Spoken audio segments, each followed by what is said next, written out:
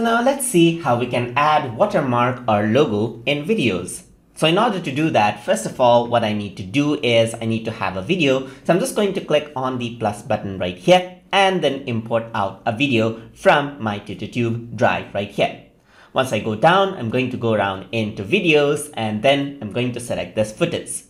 So adding a watermark right here is just importing a layer and adding it on top of it. So I'm just going to go around and then uh, go to my media right here, double click on this and then I'm going to go around into uh, the drive and then I'm going to select this and then I'm going to click on open right here.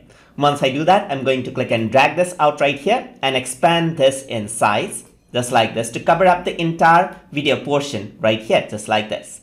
So once I do that, what I can do is I can go around, click on the logo, and you can see that this is transparent because this is a PNG file. I can go around, resize this, and keep it on the bottom right, on the top right, or wherever I want.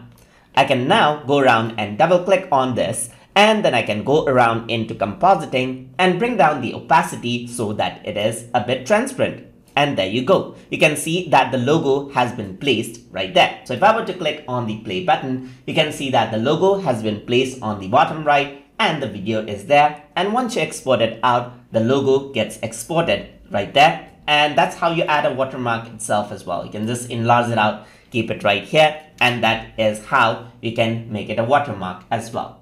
And that is how you can add watermark or logo in videos inside of Filmora. So if you guys learned something as always, and as always, please like, comment, share, and subscribe